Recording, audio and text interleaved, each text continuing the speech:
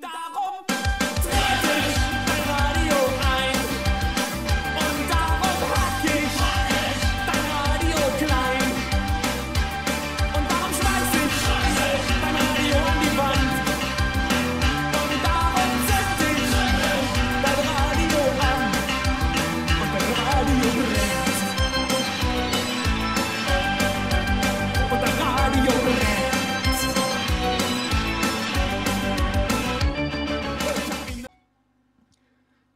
Leute, wir sind auf Sendung, 16 Uhr, herzlich willkommen ähm, zum bedingungslosen Nachmittag. Wir haben heute ähm, Bildungstv sozusagen. Wir haben äh, Daniel äh, Feher hier, er ist Experte für politische Kommunikation und hat von 2004 bis 2015 in Brüssel gelebt und gearbeitet, unter anderem im Europäischen Parlament.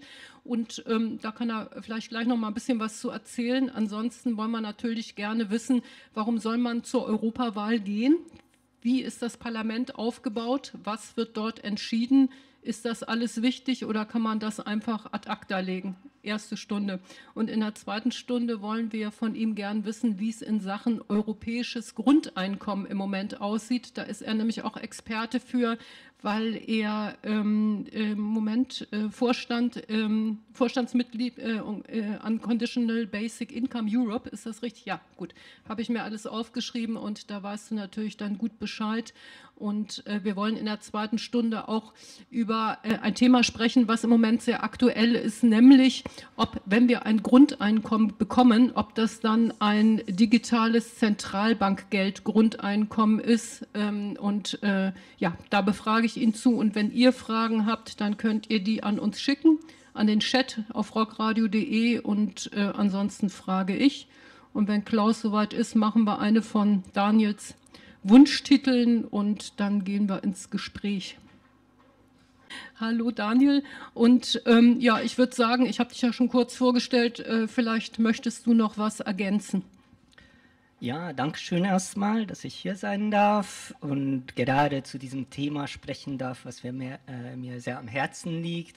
Ich bin Europäer, äh, also europäisch interessiert, nicht nur wegen der Politik. Ich bin in Budapest in Ungarn geboren, ich bin in Westdeutschland aufgewachsen, ich habe meinen Uni-Abschluss in Großbritannien gemacht. Also international. Wie du schon gesagt hast, lange Zeit in Brüssel gelebt und gearbeitet und jetzt seit, auch schon seit einigen Jahren hier in Berlin und habe auch hier immer wieder mit, äh, mit Europa zu tun, auch beruflich.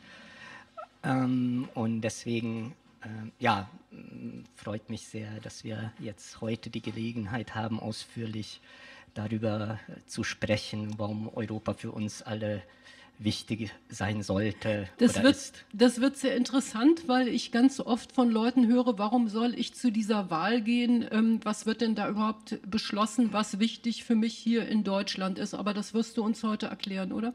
Sehr gerne, ja. Also salopp sprechen wir ja immer äh, einfach von Europawahlen. Ähm, präziser wäre es zu sagen, Wahlen zum Europäischen ja. Parlament, weil Europawahlen sind eigentlich alle Wahlen. Auch die Bundestagswahl ist eine Europawahl, weil eben die Bundesregierung, wie auch die anderen Regierungen der anderen Mitgliedstaaten, sehr viel, sehr äh, intensiv auf europäischer Ebene mitsprechen, mitentscheiden. Und äh, deswegen, aber das können wir gleich nochmal in en Detail ausführen. Genau, dann würde ich noch gerne wissen, was hast du in Brüssel gearbeitet? Du, ähm, also du hast mir geschrieben im Europäischen Parlament. Darf ich fragen, was genau hast du da gemacht? Da habe ich äh, als äh, wissenschaftlicher Mitarbeiter eines okay. Abgeordneten hm. hauptsächlich gearbeitet. Und äh, ich habe aber vorher auch äh, außerhalb der EU-Institutionen zum Beispiel für eine Kommunikationsagentur, die verschiedene EU-Projekte betreut hat, äh, auch gearbeitet. Also sagen wir, okay. man kann sagen, ich kenne die EU in und aus. Okay, also du bist richtig international aufgestellt, wie ich höre. Wird dir das dann nicht manchmal ein bisschen eng hier in Berlin? Nein, in Berlin zum Glück nicht. Also das war auch, glaube ich, äh, warum die Wahl, als, äh, als ich Brüssel verlassen habe, auf Berlin fiel, weil hier äh, durchaus nicht weniger Internationalität äh, okay. geboten ist. Okay, gut. Gut, ähm, ich fange mal mit einem ganz simplen Thema an. Also wir haben jetzt im Juni haben wir Wahl zum Europäischen Parlament, um das jetzt mal richtig zu sagen. Ähm, Wer jetzt, wenn dich jetzt jemand fragt, ja, warum soll ich da hingehen? Was, was entscheide ich da überhaupt? Vielleicht kannst du das mal so erklären, ohne Politik-Sprech, dass es äh, jeder versteht und jede. Ich gebe mir beste Mühe. Also, was wir wissen sollten über die Europäische Union, dass heutzutage sehr viele Gesetze, auch sehr viele Gesetze, die dann am Endeffekt äh, pro forma der Bundestag beschließt, ihren Ursprung in Brüssel haben. Also schätzungsweise, man spricht so von um die 70 Prozent äh, der, der äh, so Legislation, ah, okay. also legislativen Verfahren. man kann sich natürlich streiten, ne, wie man da rechnet. Es ist natürlich nicht das meiste Geld, was zum Beispiel die, die, der Bundestag, die Bundesregierung verteilt wird, nicht in Brüssel entschieden, wie das verteilt wird, aber äh, Fakt ist, sehr vieles, äh, also auch was wir jetzt neulich die große Diskussion um zum Beispiel äh, Gebäude, ähm, Energieeffizienz, mhm. Äh, ähm, die Gesetzgebung hier in Deutschland hatten, das hat auch eine äh, Grundlage in europäischer äh, Verordnungen und deswegen sehr, sehr vieles, was uns betrifft, äh, sehr wichtige Entscheidungen. Äh, wir können uns jetzt zum Beispiel das Beispiel Landwirtschaft nehmen. Da hatten wir ja neulich in Berlin die Demos, aber nicht nur in Berlin. Glyphosat, ne? Stichwort. Äh, auch Glyphosat ist ein gutes Stichwort, aber genau, wenn, wenn wir sehen, äh, es wird ja, ja nicht, wurde nicht nur in Berlin äh, mit Treckern demonstriert, sondern es wird heute von Barcelona über Paris und Brüssel äh, bis nach Warschau überall äh, und, und die Landwirtschaftspolitik wird eigentlich fast komplett in der EU, auf EU-Ebene gemacht. Aber dann ist es ja auch äh, verwunderlich, dass die, äh, äh, dass die Landwirte und Landwirtinnen, dass die dann hier in, in Deutschland, also warum fahren die dann nicht alle, warum fahren die dann nicht alle vor das Europaparlament? Tun sie ja auch und das tun sie nicht nur heute. Äh, da gibt es eine große Tradition von äh, Bauerndemos in Brüssel. Äh, aber wie ich vorhin schon gesagt habe, so wie die EU aufgebaut ist, ist es ja nicht nur, dass die Kommission in Brüssel oder das Europäische okay. Parlament in Brüssel und Straßburg die Entscheidungen trifft, sondern eben die nationalen Regierungen äh, reden über den Rat der EU auf äh, gleicher Augenhöhe mit dem Europäischen Parlament mit und beeinflussen eben auch alle Entscheidungen. Okay, also ähm, wenn das jetzt jemand fragen würde, das heißt, wie in Brüssel entschieden wird, ist nicht bindend für die Nationalstaaten. Doch in vielen Fällen ist es bindend. Also es gibt äh, zweierlei, im Grunde ganz einfach äh, gesprochen, zweierlei äh, ähm, Gesetzgebungsarten auf europäischer Ebene. Äh, die einen sind äh, die äh, Direktiven, die, sind, die müssen dann erstmal in nationales Recht umgesetzt werden. Aber es gibt auch eben Verordnungen, die dann sofort bindend sind in der gesamten EU. Also da hat dann der Bundestag höchstens nur Umsetzungsregeln vielleicht anzupassen. okay. Und wie ist das, wenn wir mal bei dem Beispiel Bauern bleiben? Also es lohnt sich für die schon auch in den Nationalstaaten zu ähm, demonstrieren, weil es gibt auch Gesetze, die dann eben national äh, beschlossen werden können oder auch nicht. Ist es so? Ähm, das ist halt die Schwierigkeit. Die Frage ist genau, was kann äh, die Bundesregierung jetzt zum Beispiel für die deutschen ja, genau. äh, Landwirte tun, die mhm. hier demonstrieren. Äh, ähm, da gibt es ja auch gute Ideen, zum Beispiel diese, äh, diese Tierwohlabgabe auf Fleischprodukte. Äh, aber da ist eben genau die, die Herausforderung, wie kann sie das europarechtskonform umsetzen? Weil äh, jetzt um bei dem Beispiel zu bleiben, mhm. geht es darum, okay, äh, ich erhebe zum Beispiel an der äh, Supermarktska äh, Supermarktskasse diesen Zusatzpfennig, mhm. äh, aber wem kommt das, was wir da, damit einnehmen, zugute? Mhm. Äh, darf ich das nur an deutsche Bauern dann verteilen oder müssen das alle, die nach Deutschland Fleisch verkaufen, dann auch bekommen und so weiter und so fort. Also es ist gar nicht so einfach und äh, wir können in der zweiten Hälfte auch äh, zum Grundeinkommen ähnliche äh, Probleme okay. aufgreifen. Gut, dann möchte ich nochmal auf Glyphosat kommen, weil das hat gerade hier ähm, unser Chef hier von Speiches, wo wir hier senden, gefragt, warum ist das denn? Ich meine, gut, du warst jetzt nicht an der Entscheidung äh, beteiligt, aber vielleicht kannst du dich dazu äußern. Es ist ja jetzt entschieden worden, dass es noch zehn weitere Jahre auf den Feldern ausgebracht werden darf. Ähm, äh, konnte, hätte sich, wäre es möglich gewesen, dass sich ein Land dagegen gewehrt hätte und gesagt hätte, nein, bei uns wird das nicht mehr gemacht oder wäre das unmöglich? Ähm, selbstverständlich ist das möglich. Das Problem war jetzt hier bei dem konkreten Beispiel, wenn ich das alles äh, richtig mitbekommen habe, dass nicht genügend, genügend Länder im Rat sich gewehrt haben. Und weil es eben im Rat, äh, bei, also bei der Abstimmung der Regierung, Patt-Situation gab, mhm. Durfte die Kommission in Eigenregie äh, ähm, ja, quasi dieses Moratorium um weitere zehn Jahre hinausschieben. Ähm, und also es hat, es hat sozusagen kein, kein Vertreter eines Staates gesagt, nein, bei uns nicht und wir wollen das nicht. Das können die nicht. Also das, das, ist, eben, okay, das ist eben okay. äh, mhm. eine, eine, Geschichte, die wird halt auf, äh, okay. auf EU-Ebene entschieden. Die, das gilt dann halt für alle Länder. Gilt für alle, müssen alle durchziehen ja. dann. Okay, gut. Also nicht gut in dem Fall, aber ähm, wir haben es nee, verstanden. Also Nein, okay, äh, haben wir das verstanden. Ähm, so, gut, also das heißt, ähm, es werden schon wichtige Entscheidungen getroffen. Das heißt, es hat sich, lohnt sich also schon zur Wahl zu gehen. Man kann nicht sagen, äh, das interessiert mich nicht, ich bleibe zu Hause, ich gehe da nicht wählen.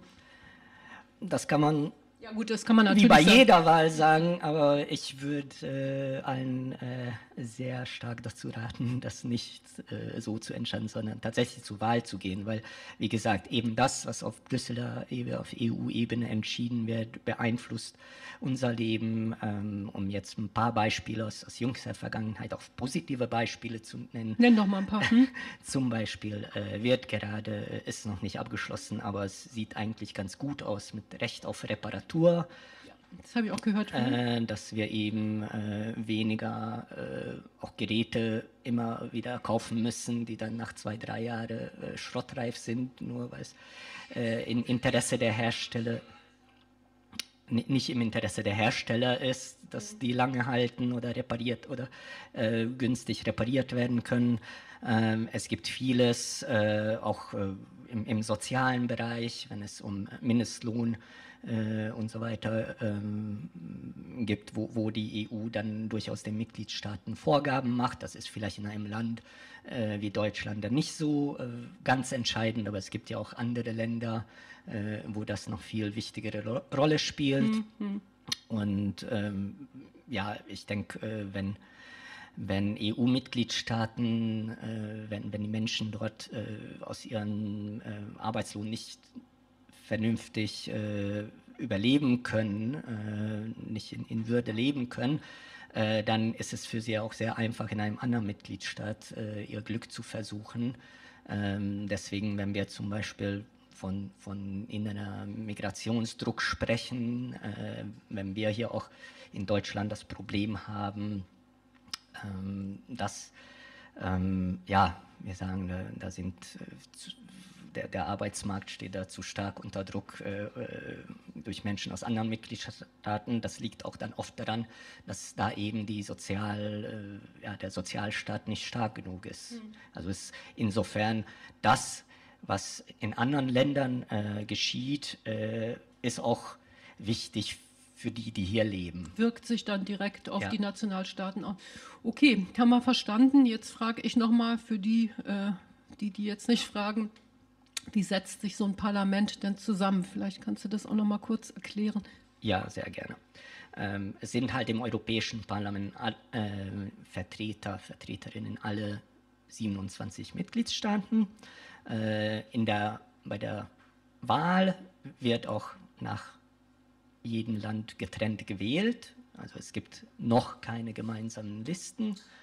Ähm, wir wählen hier in Deutschland die deutschen Abgeordneten. Das sind 96 an der Zahl von, ähm, von 720 werden das jetzt bei der nächsten Wahl sein. Aktuell sind es ein bisschen weniger. Ähm, bei der letzten Wahl waren es insgesamt 750 Abgeordnete, aber damals war ja auch noch die Großbritannien mit dabei. Ja. Ähm, es ist so, die Verteilung äh, der Sitze nach Ländern richtet sich nach dem sogenannten äh, Prinzip der degressiven Proportionalität. Was heißt das? Ja, das wollte ich gerade fragen. äh, klingt, klingt sehr kompliziert, aber es besagt einfach nur, ein Land, das mehr Einwohner hat, als ein anderes darf nicht weniger Abgeordnete okay. haben. Okay. Es ist nicht ganz proportional, also Malta und Luxemburg haben zum Beispiel sechs äh, Abgeordnete jeweils, Zypern glaube ich auch. Äh, und Deutschland als das größte Mitgliedsland, einwohnerstärkste Mitgliedsland, hat 96. Man kann sich ausrechnen, dass äh, ein, eine Abgeordnete, ein Abgeordneter aus Malta deutlich weniger Menschen vertritt als eben. Jemand aus Deutschland. Äh, das ist aber absichtlich so. Also es wurde gesagt, äh, äh, wenn, wir ganz proportional sein wollten, dann müsste ähm, Malta, glaube ich, einen Abgeordneten bekommen und Deutschland 133. Darf ich kurz fragen, Malta, wie viele Einwohner? Ich habe es jetzt nicht im Kopf, aber äh, nee, ich, ich, eine Million, ne? Nein, nein, auf jeden nee, Fall. Also okay. hm? ja, ja, um die Größenordnung. Ja, irgendwo, so. ja ein paar hunderttausend, glaube ich. Mhm. Und äh, deswegen, also die kleineren Länder haben proportional ein bisschen mehr und das ist dann so eine ja, Kurve sozusagen. Ähm, es könnte theoretisch sich nach einer mathematischen Formel auch richten. Es gab schon viele Anläufe im Europäischen Parlament, das auch transparent äh, zu gestalten, aber die Wahrheit ist, äh, dass äh, sich das immer noch nach Verhandlungen, also Lobbykraft der einzelnen Ländern teilweise richtet. Äh, und es gibt ja auch zwischen den Wahlen ja immer wieder auch Veränderungen äh, in der Einwohnerzahl.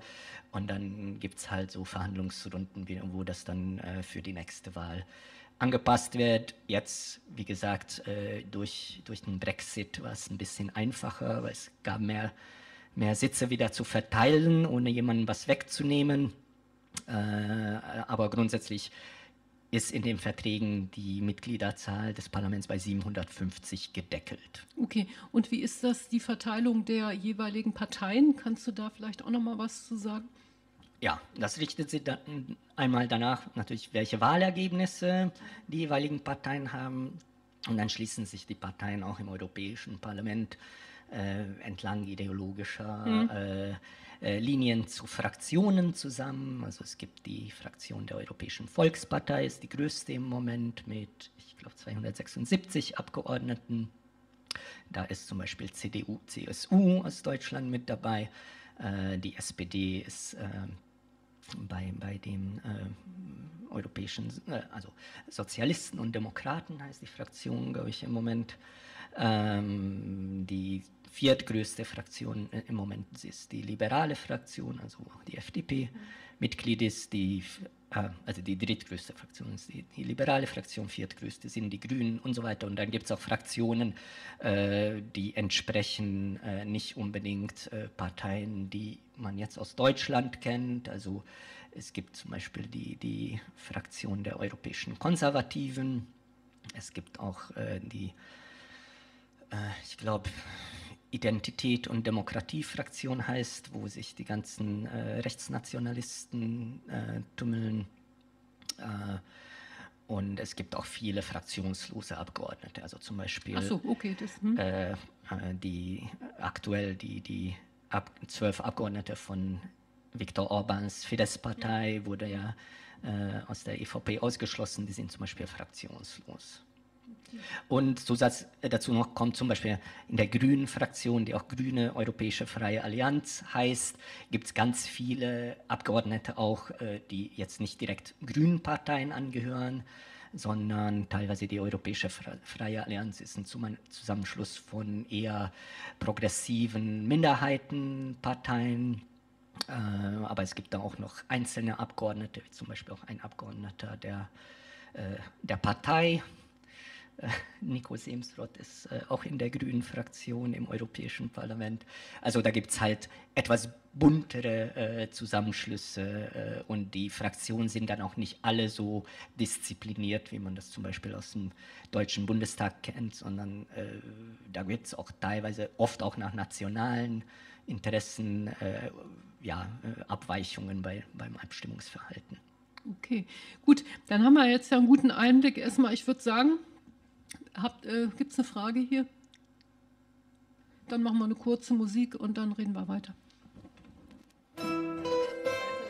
So, jetzt kommen wir aber wieder zum Thema und zwar, ähm, das hörte sich ja vorhin alles ganz toll an, was du erzählt hast über das Europaparlament. Gibt es denn da auch irgendwie einen ähm, bitteren Tropfen?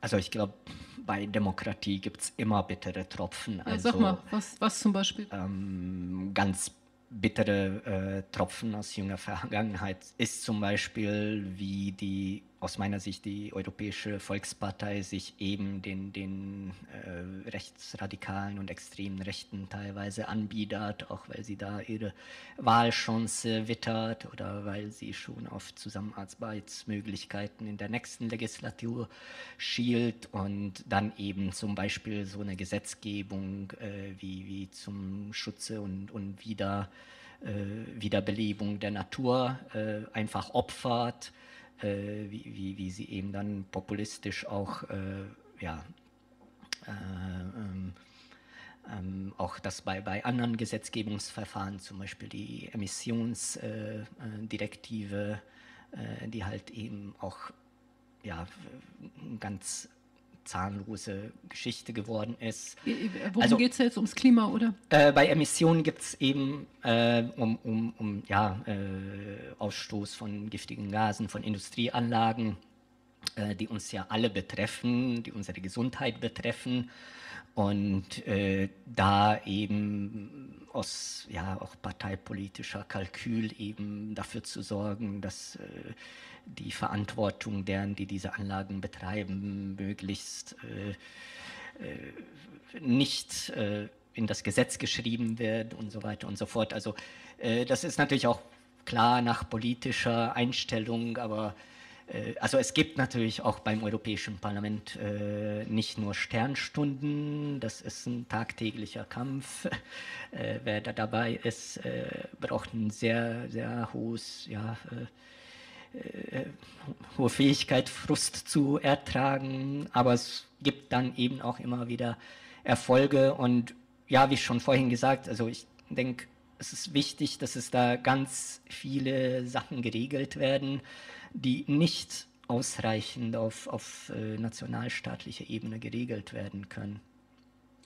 Ähm, ja gut, aber es ist ja, also es gab ja Zeiten, es, es wurde ja mal auf Nationalebene geregelt. Also das, äh, es gibt ja, also das gibt es ja noch nicht so lange. Also es wurde ja Jahrhunderte auf Nationalebene ge geregelt. Ähm, war es einfacher vorher oder? Ich war nicht dabei. Nee, ist schon klar, aber. ähm, naja, gut, also wenn man das jetzt versucht, in historische Perspektive das zu setzen, so. äh, haben wir die EU jetzt ja auch schon, oder vorher Europäische Gemeinschaft auch schon äh, gut äh, 70 Jahre, rechne ich richtig. Ähm, äh, Nationalstaat ist jetzt auch nicht so, das haben wir jetzt vielleicht gerade mal 200 Jahre.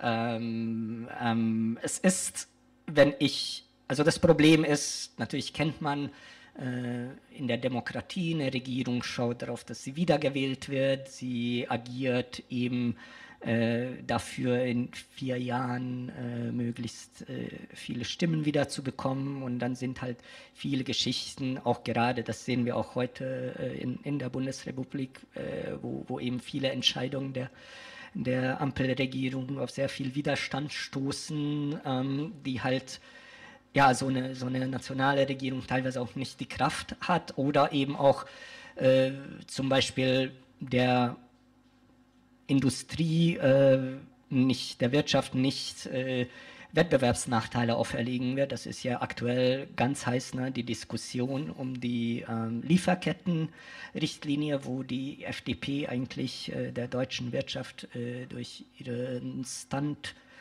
diese Richtlinie auf den letzten Metern zu verhindern, äh, einen kurz, Bärendienst erwiesen hat. Nochmal ganz kurz für die Leute, die es nicht wissen. Also es geht darum, dass man sagt, ähm, wir wollen zum Beispiel keine Waren mehr oder wir, wir wollen nachgewiesen haben, ob die Waren durch Kinderarbeit produziert wurden und so weiter und so fort. Und die FDP stellt sich dagegen und sagt, das ist zu viel Bürokratie. Nur um, um das nochmal eben zu erklären, dieses... Genau, es geht darum zu sagen, äh, Produktionsverhältnisse, die wir hier in Deutschland nicht haben wollen, wie hm. Kinderarbeit oder dass Menschen unter unwürdigen äh, oder gesundheitsschädigenden Bedingungen äh, zu arbeiten haben. Man kann ja auch die, die ne, brennende Fabriken aus äh, Bangladesch eben, und, eben. Äh, hm. und so weiter und so fort das wollen ja auch Unternehmen nicht. Äh, das ist ja äh, auch das Interessante an der Geschichte. Also äh, die haben ja auch kein Interesse daran, dass, dass ihre Marke durch solche Enthüllungen dann oder solche Unfälle beschädigt wird. Und wir haben ja in Deutschland schon ein Lieferkettengesetz und eigentlich geht es darum, jetzt auf europäischer Ebene für alle Produzenten gleiche verbindliche Regeln zu schaffen. das ist auch im Interesse der der, ähm, ja, der deutschen Industrie, der deutschen Produzenten.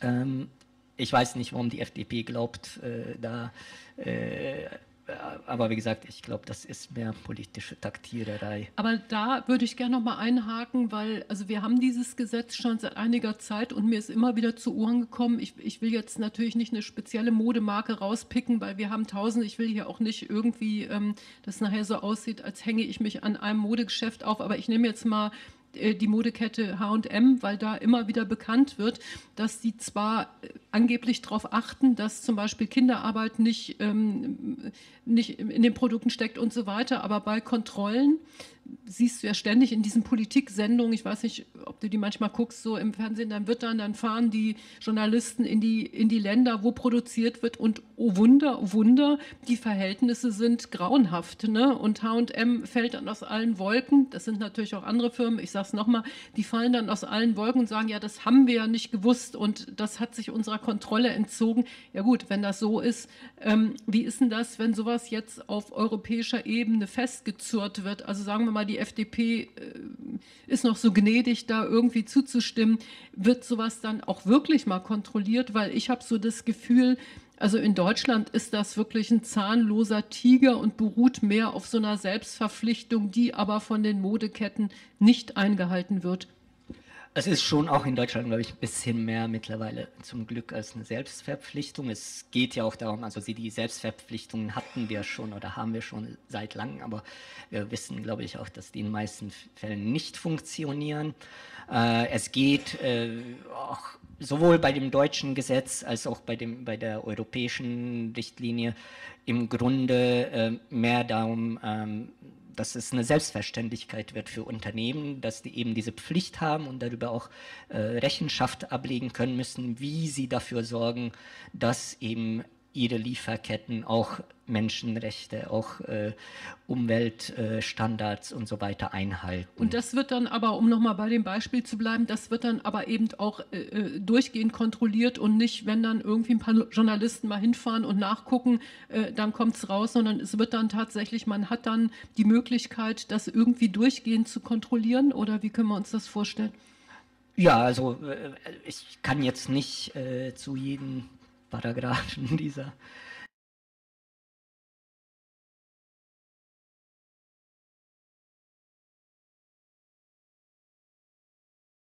dass du als Unternehmen ähm, eben die Pflicht hast, äh, zu schauen, okay, was passiert, dich zu informieren, auch deine äh, Zulieferer zu fragen, ja, wie macht ihr das? Ne? Stellt ihr sicher, dass eben keine Kinderarbeit bei euch gibt und auch nicht nur bei euch selbst, sondern eben entlang der gesamten Lieferkette. Äh, und äh, wenn ein Unternehmen das, äh, das äh, eben nicht macht und, äh, und bei einer Kontrolle zum Beispiel nicht nachweisen kann, äh, dass sie eben dieser Sorgfaltspflicht Genüge getan haben, dann können auch tatsächlich Strafen verhängt werden. Also es ist schon mehr als ein zahnloser Tiger. Also ich habe eine Frage zum Lieferkettengesetz. Es kann ja nicht Aufgabe einer jeder einzelnen Firma sein, zum Beispiel die, die Produktionsbedingungen herauszufinden. Ist es nicht eher die Aufgabe des Staates, dass Handelsverträge abgeschlossen werden mit anderen Ländern, äh, dass man äh, äh, von vornherein festschreibt, die und die Bedingungen müssen herrschen, wenn man jetzt zum Beispiel Produkte herstellt. Ja, jeder Betrieb, ich war ja selber mal Buchhalter gewesen, ich kenne den, kenn den Bürokratismus in Firmen, es, ist so, jede Firma müsste sich jemand anstellen, jemand neu anstellen und äh, die müssten immer die ganzen Lieferketten verfolgen. Das ist ja ein, ein irrer Wahnsinn. Das, das ist so ein bisschen tatsächlich, wie, wie die FDP aktuell argumentiert, aber das ist nicht so, wie, äh, wie dieses. Äh, äh, ja, wie diese Gesetzgebung gedacht ist. Ne? Also ich muss auch nicht als H&M äh, Kontrolleure zu, zu, meinen Zulieferern schicken, äh, sondern ich muss einfach dafür sorgen, dass die mir, also ich, ich frage als äh, Produzent äh, die, die Unternehmen, die mir eben zuliefern, okay, wie macht ihr das? Wie stellt ihr sicher? Ne? Also mhm. es, es geht halt auch da um, um ein gewisses äh, äh, Vertrauen aufzubauen. Und wie gesagt, also du, du siehst auch, dass äh, Aldi oder ich glaube Ikea und so weiter, es gibt ganz, ganz viele große Unternehmen, die ganz, ganz äh, sich äh, äh, DM und so weiter, die, die sich für diese europäische äh, für dieses europäische Lieferkettengesetz einsetzen, weil sie das auch selbst haben wollen und weil naja, sie auch weil haben die wollen, Kunden das natürlich auch haben natürlich. wollen. Und, genau. und weil, äh, weil, äh, weil sie auch nicht wollen, dass sie eben diese, diesen Aufwand betreiben und andere äh, ähm, Wettbewerber das halt einfach unterlassen. Hm. Okay, was glaubst du denn mit der FDP? Ist es jetzt, äh, das habe ich aktuell nicht im Kopf, sind es die einzigen, die sich da querstellen oder gibt es noch andere? Also sind natürlich nicht die einzigen. Es geht äh, im Grunde darum, dass ohne die Stimme von Deutschland im Rat, im Rat ist die Stimmengewichtung ähnlich äh, ungleich, also ne, geht mhm, okay. je größer das Land, desto mehr Stimmen hat es im Rat äh, und äh, Deutschland hat eben das, äh, ist, ist der größte Block. Ähm, und äh, es ist so, wenn sich eine Regierung eben nicht einig ist, äh, in diesem Fall müsste sich Deutschland im Rat enthalten. Das ist, was die FDP eben fordert. Und dann ist eben nicht sichergestellt, dass diese, dieses Gesetz im Rat eine Mehrheit findet. Deswegen wurde jetzt vorgestern auch die Abstimmung im Rat verschoben. Okay, gut. Ähm, also ich wusste jetzt nicht genau, ob Deutschland die Einzigen sind, ob Deutschland das jetzt sozusagen die FDP das zum Kippen bringen kann Nein, europaweit. Also äh, es ist kein Veto, was die, die FDP hier äh, verlangt, aber eben dadurch, dass es natürlich auch andere Regierungen gibt, äh, die da jetzt nicht so äh, hundertprozentig äh, begeistert äh, über diese Gesetzgebung sind, ist es halt nicht klar, ob es dafür eine Mehrheit ohne Deutschland im Rat gäbe. Aber in Deutschland bleibt trotzdem, selbst wenn das jetzt kippt, bleibt in äh, Deutschland trotzdem dieses Gesetz, dass ähm, zum Beispiel Kinderarbeit nicht in, in äh, Artikel fließen darf, in Waren, das bleibt aber trotzdem. Ja, ja, das deutsche okay. Lieferkettengesetz, das ist ja okay, unter der Vorgängerregierung Das ist davon nicht, nicht angetastet. Worden. Okay, gut, ja. gut, okay. Also da bin ich mal gespannt, wir werden das verfolgen. Wie gesagt, ähm, äh, kannst du noch kurz sagen, was die FDP als, oder du hast es im Grunde schon gesagt, die hat gesagt, in den Firmen ist zu viel ähm, Arbeit äh, fällt dann an oder äh, was, was sie als Begründung. Achso, die FDP. Achso, genau noch zu den Fragen mit Handelsverträgen. Also ich fürchte, es ist wenig äh, realistisch, dass zum Beispiel von äh, Regierungen wie, ich weiß nicht, ja, Pakistan, Bangladesch und so äh, zu erwarten, äh, dass sie eben bei allen äh, ja, die, diese Produktionsbedingungen in allen Firmen in ihr, im Land sicherstellen können. Ich glaube, wir sind da, äh, also es ist natürlich klar, dass bei jedem Handelsvertrag, was die EU abschließt, äh, das eine Rolle spielen würde, äh, Rolle spielen sollte, muss. Aber es ist auch klar, dass eben auch die, die Firmen, die in diesen Ländern produzieren lassen, äh, da eine Verantwortung haben. Ne? Ich kann nicht einfach äh, sagen, ach ja, äh, wir haben in Deutschland, wir haben in der EU zu starke äh, Vorschriften, was zum Beispiel jetzt äh, CO2-Ausstoß angeht oder was Arbeitszeiten angeht oder was ne, menschenwürdige Arbeitsbedingungen geht. Also verlagere ich meine Produktion einfach mal ähm, nach Serbien, nach Bangladesch, wo auch immer, nach Afrika, äh, wo es eben diese, diese Vorschriften so nicht gibt oder eben die Regierungen das da nicht so durchsetzen können, sondern ich denke, äh, da müssen auch die müssen auch die Firmen, die die Waren letztendlich hier auf den Markt bringen, äh, in die Verantwortung gezogen werden. Wie, wie, gesagt, also bei Klamotten ist es ja schon, ich bleibe jetzt mal beim Beispiel H&M und sage nochmal dazu, ist bei anderen bestimmt auch so, aber ich kaufe manchmal bei H&M, deshalb weiß ich, dass, dass da an vielen Klamotten schon äh, ein Schildchen hängt, so ein, so ein Pappschildchen, wo man lesen kann, ob das jetzt stimmt oder nicht. Wie gesagt, es äh, kommt ja immer raus, dass es dann tatsächlich nicht so ist. Aber sie werben damit, dass äh, das ist recycelt aus Tralala und ohne Kinderarbeit und so weiter und so fort. Also ich gehe mal davon aus, im Moment äh, haben die Leute so ein Bewusstsein dafür, dass man als Firma gut dran tut, dass man das auch irgendwie, ähm, dass man da auch hinterher ist. Ne? Ja, also wenn wir bei der äh, ja, Textilindustrie bleiben, Greenpeace hat ja jetzt zu Beginn der Fashion Week vom Brandenburger Tor einen großen Müllhaufen, äh, äh, riesigen Müllhaufen aus, aus äh, ja, äh, weggeschmissenen Klamotten ähm, aufgebaut. Und ähm, ja, ich glaube, es symbolisiert sehr stark, dass wir auch nicht eben nicht, nicht unbedingt Klamotten zu, zu Billigstpreisen mhm. brauchen, mhm. ne, die wir dann halt zweimal, drei, dreimal tragen und dann wegschmeißen. Mhm. Also es ist auch, glaube ich, im Endeffekt nicht im Interesse der, der, der Verbraucherinnen, Verbraucher, äh, eben die, diesen Kreislauf von immer billiger produzierten Waren äh, zu haben, sondern ich glaube, wir können uns das auch leisten, dass die Leute, die unsere T-Shirts nähen und so eben auch ihrem, ja, da, und unter menschenwürdigen Bedingungen Absolut. diese Arbeit machen. Absolut. Äh, ja, ich habe mal gelesen, die Firmen oder die Hersteller sind, oder die Verkäufer sind ja sehr interessiert daran, dass sie da nicht böse angemacht sind. Wie weit aber hat denn die EU oder haben denn äh, die Politiker oder die Leute, die das aufdecken, eine Lobby bei der guten Presse, um sowas dann auch möglichst publik zu machen, weltweit, damit es auch bei den Endverbrauchern ankommt? Die wissen es ja manchmal gar nicht. Äh, wie, wie gut ist denn der Stand da bei, den, bei der guten Presse, sage ich mal?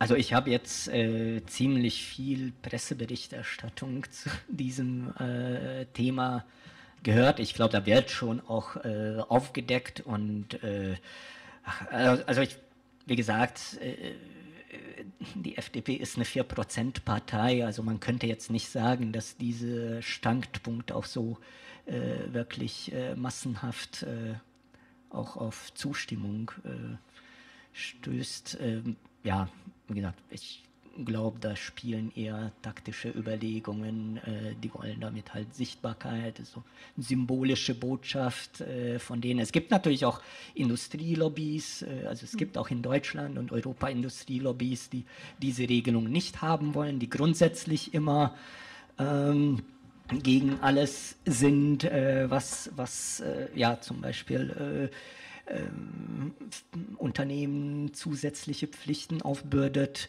Äh, aber ich glaube, es ist auch wichtig zu sehen, dass es eben äh, es, es, gibt nicht die Wirtschaft, es gibt nicht die Unternehmen. Ne? Es gibt solche Unternehmen, es gibt solche Unternehmen. Und in, es gibt anscheinend Unternehmen, es gibt starke Unternehmensverbände, äh, die möchten nicht, dass das kommt. Und es gibt andere Unternehmen, mhm.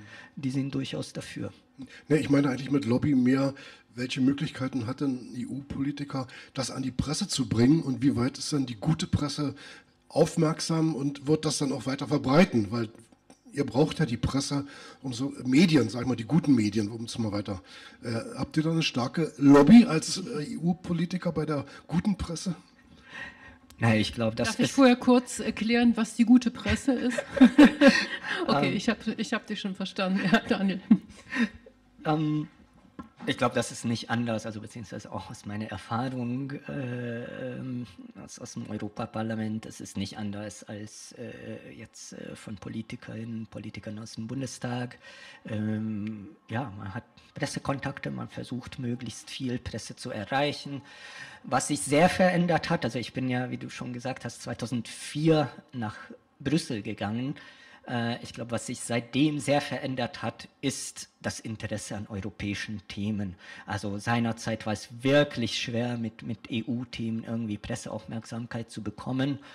Und äh, das hat sich sehr stark geändert. Also ich glaube, äh, ich würde sagen, am, am so ungefähr seit, seit der Bankenkrise, seit der Euro-Krise mhm. äh, und dann über äh, Flüchtlingskrise und, und so weiter, aktuell dann Pandemie, äh, Ukraine und so weiter. Also man, man könnte äh, endlos mittlerweile die Themen aufzählen, die europaweit diskutiert werden, wo auch äh, Bezug genommen wird, äh, also wo in, in, in Deutschland geschaut wird, was wird dazu in Frankreich, in Spanien, in Italien gesagt, also wo, wo wirklich diese Öffentlichkeit äh, nicht mehr ganz wo die Öffentlichkeiten nicht mehr ganz national abgeschottet sind, sondern wir tatsächlich in den letzten, letzten sagen wir, äh, ein, zwei Jahrzehnten sowas wie, wie die Entstehung einer europäischen Öffentlichkeit erlebt haben. Und das ist aus meiner Sicht äh, ein, ein, ein klarer Fortschritt. Also auch wenn wir die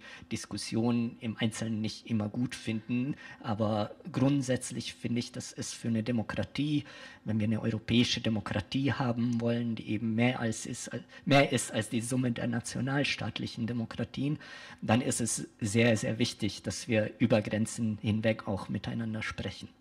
Wirkt sich denn dieses äh, äh, größere Interesse an Europapolitik auch bei den Wahlen aus? Hast du da irgendwie so einen Überblick, ob sich die Leute doch dann eher beteiligen an der Europawahl so in den letzten Jahren oder äh, ist das nicht so auszumachen? Ich müsste das nochmal nachschauen, aber ich meine, äh, wir, bei der letzten, stellen, ja. letzten Europawahl ist die Wahlbeteiligung tatsächlich nach langem Zeit des Absinkens zum ersten Mal wieder gestiegen. Also ich glaube, äh, wir werden das vielleicht sehen, äh, wie, wie, das dieses Jahr ist, aber ich glaube schon, äh, dass sich das dann auch auswirkt, dass die, die Menschen tatsächlich auch ja, mehr begreifen, warum, äh, warum Europapolitik äh, für sie wichtig ist, weil sie sehen, welche Themen diskutiert werden. Okay, wie groß oder wie hoch ist denn so in, im Durchschnitt die Wahlbeteiligung? Hast du da irgendwie so Zahlen, 50, 60 Prozent? Oh, die Brandbreite ist riesig, also es gibt Länder wie, glaube ich, in, in, in Tschechien ist die notorisch niedrig bei, ich glaube, so 25 Prozent. Oh ja, das ist wirklich nichts. Also so richtig im Keller. Bei Deutschland war sie auch, äh, glaube ich, so bei 50 Prozent schon mal angelangt. Aber ich, das müsste ich, wie gesagt, nochmal nachschauen. Äh, es gibt auch Länder, da gibt es Wahlpflicht. Also Belgien zum Beispiel. Ach, Belgien gibt es Wahlpflicht?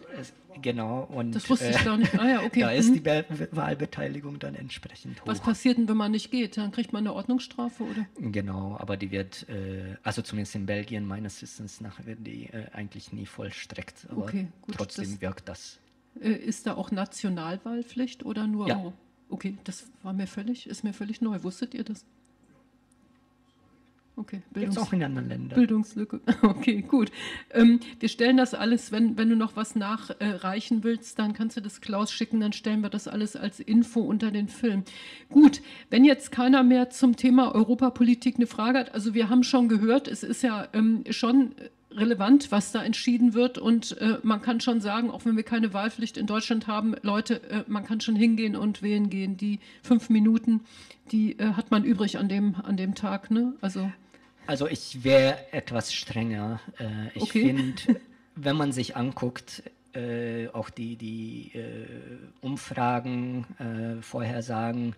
Es ist ja nicht nur so, dass nur in Deutschland die, die AfD äh, ein, eine Partei, die halt eben ganz klar sich gegen die demokratische Ordnung, gegen die europäische Integration äh, für die Interessen von Putin und so weiter einsetzt. Äh, das ist ja auch durchaus in anderen Ländern der Fall. In manchen Ländern sind solche Leute wie eben äh, Orban in Ungarn oder Meloni in Italien an der Regierung, auch an anderen Regierungen beteiligt. Und wenn wir, also es nach allen Vorhersagen könnte sehr stark passieren, äh, dass, dass eben diese, diese europafeindlichen Gruppen sehr stark zunehmen bei der nächsten Wahl, dann wird auch für die, die Mitte-Rechtsparteien, eben der EVP, die Versuchung, mit diesen, mit diesen Kräften gemeinsame Sachen zu machen. Das sehen wir ja jetzt auch gerade bei der Flüchtlingspolitik, wohin das führt. Ähm, ähm, das, äh, also es, es, ist nicht egal, äh, wie, wie das, Europa, das nächste Europaparlament zusammengesetzt äh, ist. Es ist nicht egal, äh, welche Europäische Kommission wir dann bekommen. Ähm, welche, welche, also das Europäische Parlament muss ja die Kommission auch wählen. Insofern muss auch das, die Kommission Arbeitsprogramm vorlegen, was die Mehrheit im Europäischen Parlament findet. Daher äh, ist es sehr, sehr äh, wichtig und wie gesagt, ich, ich glaube, es eben es reicht, also sehr wichtig, danke nochmal jeden, der, der jetzt diese Tage auf die Straße geht, äh, in der, äh, um, um die Demokratie, um Menschenrechte zu verteidigen. Und genauso wichtig ist es dann auch im Juni bei der Europawahl äh, auch äh, wählen zu gehen. Also ich will hier jetzt keine Lanze brechen für rechte Parteien, aber wenn man sich mal in Italien anguckt, Meloni, die äh, ist ja ähm, normal, macht ganz, also mehr oder weniger normale Politik und nicht ihre rechte Politik, die sie vorher angekündigt hat. Also man kann fast sagen, äh, lass die mal alle in Regierungsverantwortung kommen, dann machen die schon irgendwie mehr oder weniger demokratische Politik. Also gerade in Italien sieht man eigentlich, dass ähm, sie ja nichts von dem, was sie ihren rechten Wählern angekündigt hat, bisher durchgesetzt hat. Das ist nach meinen Informationen nicht so. Äh, also das Einzige, was ich Meloni zugute halten würde, ist, äh, dass sie tatsächlich im, im, im Unterschied zu Orban oder Fico und so nicht eben in, in äh, Putins äh, ähm, ja, äh, politischen nicht, nicht sich äh, da vor den Karren spannen lässt, sondern eben äh, durchaus zu, zur transatlantischen äh, Zusammenarbeit steht. Aber das hat sie vorher angekündigt, dass sie ja, es nicht tun wird. Ja, ne? ja, nee, ich sage, das, das würde ich bei ihr schon durchaus positiv sehen. Aber wenn du zum Beispiel siehst, dass sie eins der ersten Sachen war, was äh, das sie abgeschafft hat, ist eben dieses äh, Mindestlohn, äh, was, was die Vorgängerregierung äh, eingeführt hat, was hier auch äh, hierzulande unter Grundeinkommen diskutiert wurde, wegen der Bezeichnung, was aber nicht war, äh, sondern eher mehr unserem Bürgergeld ähnlich, aber also es ist durchaus so, dass die in, in Ach so, da hatte äh, ich gehört, das kann man gleich mal klären, da hatte ich gehört, diese, diese sogenannte, ich weiß jetzt nicht, wie man es nennen soll, Bürgergeld oder wie auch immer,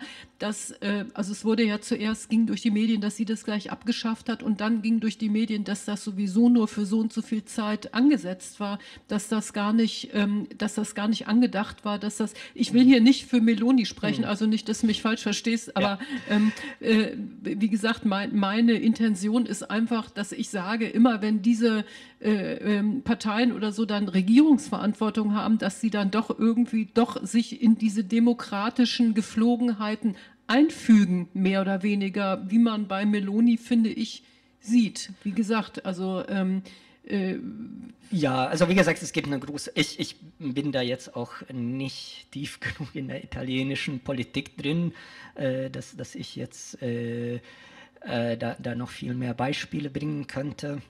Aber war das aber, angesetzt für eine bestimmte Zeit, aber dieses also, Bürgergeld, also, oder, äh, oder war das irgendwie für, für, für die Ewigkeit gedacht? Das, das vielleicht können wir das nochmal, ja. das können wir noch mal recherchieren und können es unter einen Film stellen, weil so hatte ich das später hm. gelesen, dass das gar nicht sozusagen ihre Entscheidung war, das wieder abzuschaffen. Hm.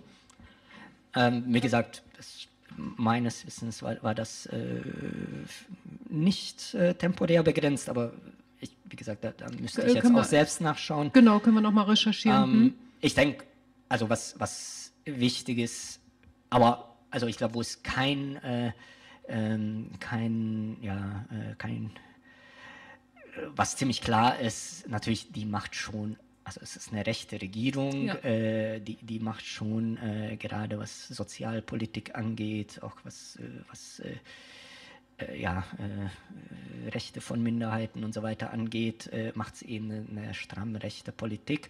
Ähm, natürlich, dafür wurde sie gewählt, aber es ist halt so, es gibt, glaube ich, Parteien, ähm, die, die eben ganz klar außerhalb des demokratischen Spektrums fallen, auch wenn sie sich bei Wahlen bewerben, auch wenn sie eben in demokratischen Institutionen vertreten sind. Und äh, es gibt natürlich gewisse äh, ja, Toleranz, wie viel, äh, wie viel die demokratischen Institutionen da vertragen können. Aber ich glaube schon, dass äh, wir bei dieser Wahl nicht sicher sein können, dass da nicht, nicht eine Hemmschwelle jetzt im Juni meinst du, genau, über, überschritten wird und, und ja, äh, dass wir plötzlich eine ganz andere EU hm. am Ende bekommen, als okay. wie wir sie jetzt kennen. Also wenn ich da so salopp sage, geht zur Wahl, das heißt, geht bitte wirklich zur Wahl, würdest du ergänzen?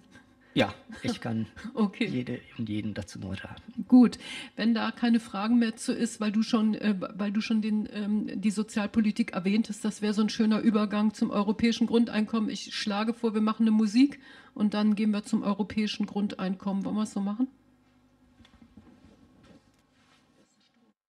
So, Musik ähm, ähm, ist gerade nicht, haben wir ein Problem, aber das lösen wir gleich, dann kommen wir gleich zum BGE, das können wir auch gerne machen, weil wir haben eh nur noch eine Stunde und da gibt es ja wahrscheinlich einiges zu berichten.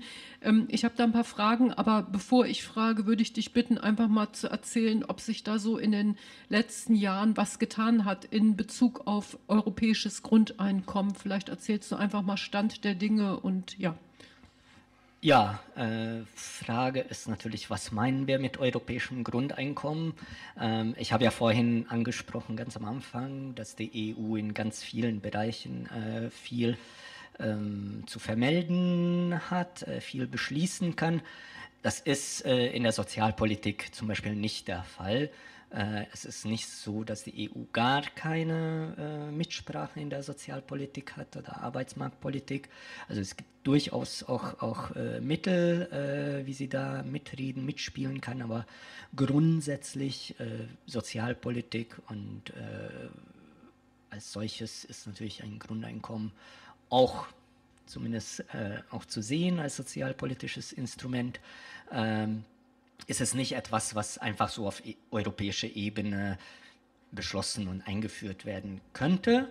Wobei das unterbrechen, wobei das so wichtig wäre, dass wir zum Beispiel überall einen gleichen Lohn hätten oder überall gleiche Leistungen für Leute, die nicht arbeiten. Also das wäre ja eigentlich fast wichtiger als irgendwelche, wie man immer so schön witzelt, ähm, dass die Gurke nicht krumm sein darf und so weiter und so fort, oder? Ja, ich habe ja vorhin ja schon äh, davon erzählt, ne, dass wir eben äh, grundsätzlich Bewegungsfreiheit äh, äh, haben in Europa. Also wenn ich in irgendeinem Land keine Arbeit finde, äh, kann ich in ein anderes Land gehen. Ähm, also es ist grundsätzlich wäre es natürlich ein, ein, ein wichtiger Punkt zu sagen, ne? wir, wir brauchen vergleichbare Verhältnisse ich, ja. europaweit wir brauchen äh, ja eigentlich überall in Europa sollen sich die Menschen äh, darauf verlassen können, dass sie eben äh, unter also in welcher Lebenssituation auch immer unter menschenwürdigen Bedingungen leben können, ob sie Arbeit haben oder nicht. Wenn sie Arbeit haben, dass sie aus ihrem Einkommen äh, menschenwürdig äh, leben können. Und das sollte eben nicht davon abhängen, in, in welchem Mitgliedstaat sie geboren sind oder in welchem sie sich aufhalten halten.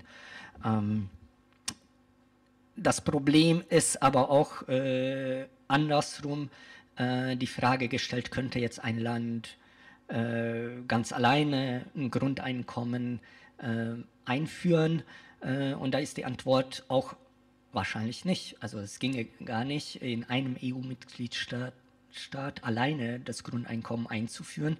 Äh, das hat äh, zum Beispiel hat Finnland festgestellt, als sie vor ein paar Jahren dieses Grundeinkommensexperiment hatten. Das war ja nur ein Experiment. Das ja, machen, aber ne? selbst schon zum Experiment hat, hat äh, der, der Leiter dieses Experiment erzählt auf einer Konferenz vor ein paar Jahren, dass eins der größten Probleme bei der Umsetzung war, zu schauen, wie sie das eben äh, EU-rechtskonform machen.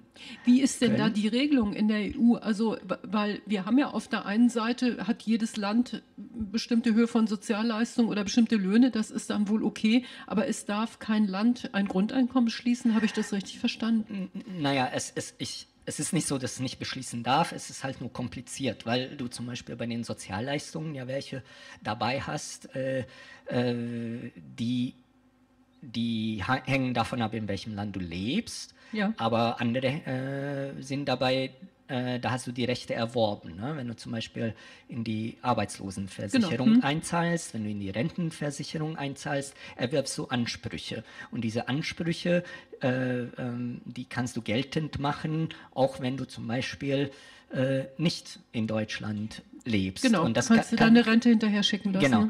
Und deswegen ist die Frage, wenn ich jetzt ein Grundeinkommen einfü äh, einführe, welche äh, Sozialleistungen werden damit ähm, abgelöst sozusagen. Ne? Jetzt verstehe ich Und das. Und je nachdem, okay. je nachdem, wie es gestaltet ist, also wenn es wenn es eben nur Leistungen sind, die halt äh, ne, vom, vom, vom jeweiligen Land gewährt werden, wie zum Beispiel Bürgergeld, ähm, dann geht es womöglich auch äh, äh ohne EU, also Regelung auf EU-Ebene.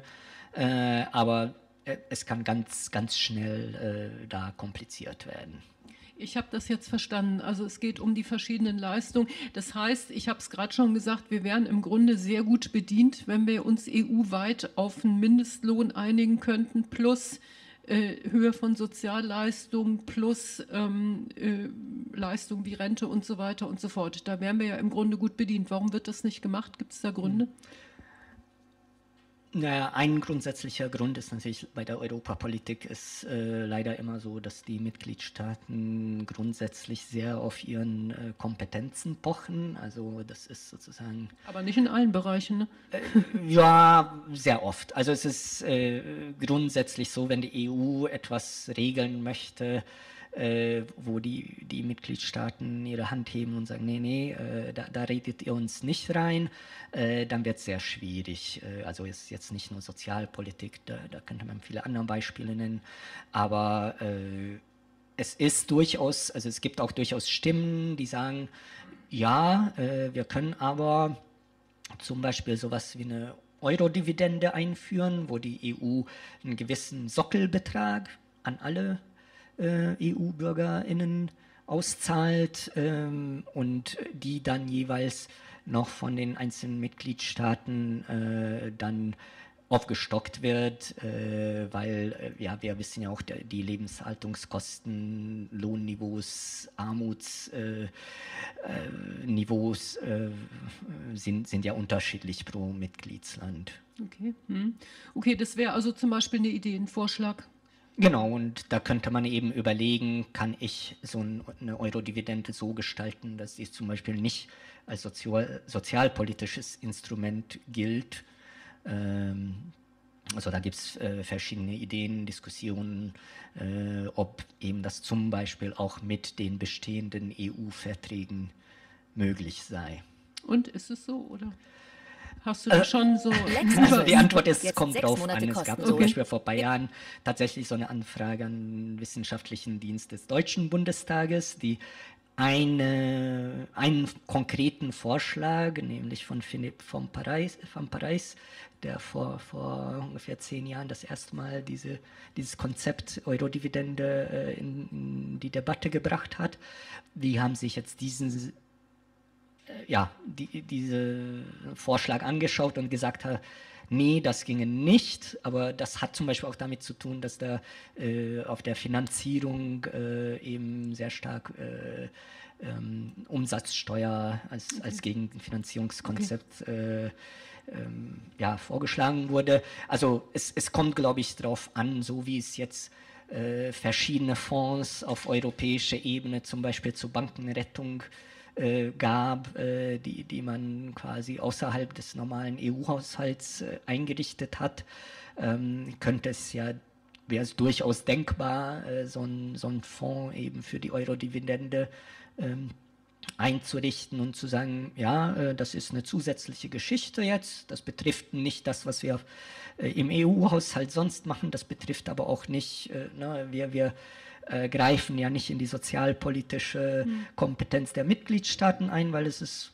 was Zusätzliches. Wir setzen, vielleicht wir äh, treffen ein paar Absprachen, ne, dass es nicht dazu führen darf, dass es jetzt von EU-Ebene zusätzliches Geld gibt, dass dafür eben von den Mitgliedstaaten, die sagen, ha, super, dann kann ich ja auch weniger zahlen. Mhm. Äh, also es müsste schon klar sein, dass, dass Menschen dadurch auch nicht schlechter gestellt werden können, aber ich denke, das ist durchaus zumindest theoretisch denkbar, wie weit jetzt die politische äh, Realität wie weit wir davon entfernt sind, das ist natürlich schwerer zu sagen. Wie können wir uns das denn vorstellen in Sachen Grundeinkommen? Äh, Im Europäischen Parlament gibt es da Arbeitsgruppen. Du bist ja zum Beispiel beim grünen Grundeinkommen, so wie ich das, wie du mir geschrieben hast. Wie, wie können wir uns das vorstellen? Sind das Arbeitsgruppen, die sich da zusammentun oder wie läuft das? Mhm.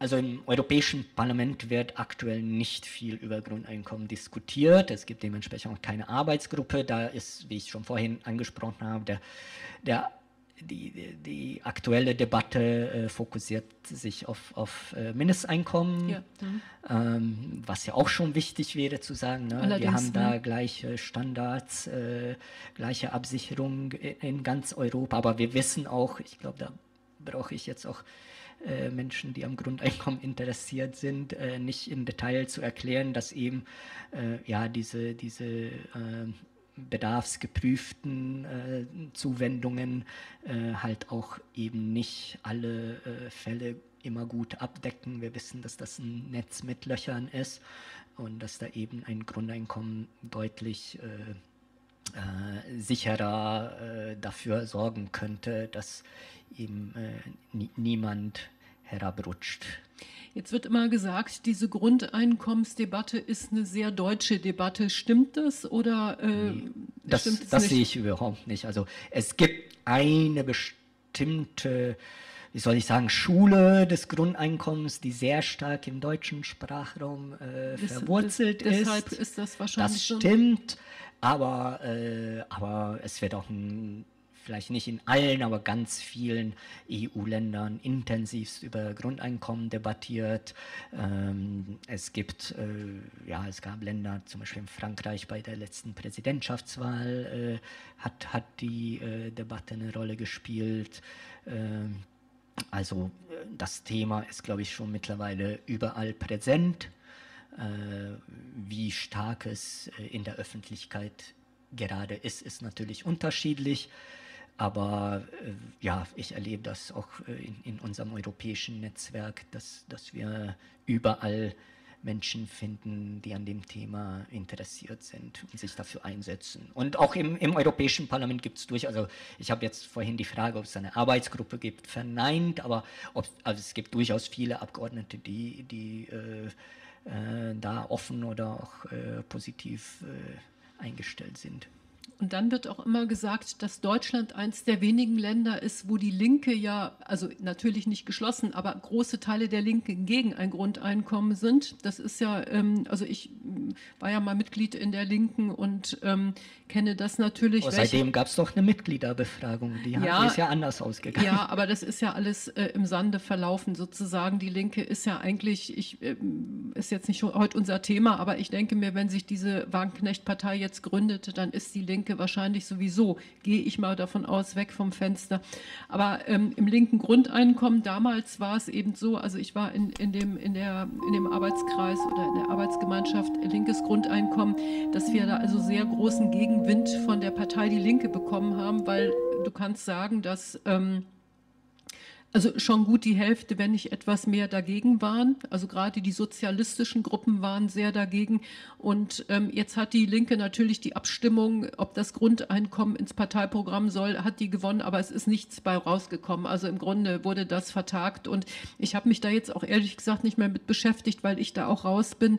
Aber ähm, was eigentlich, ich komme jetzt mal zu meiner Frage, was, was ich immer höre, ist, dass das eine deutsche Besonderheit ist, dass in anderen Ländern in anderen europäischen Ländern gerade die Linke pro Grundeinkommen ist. Kannst du das bestätigen?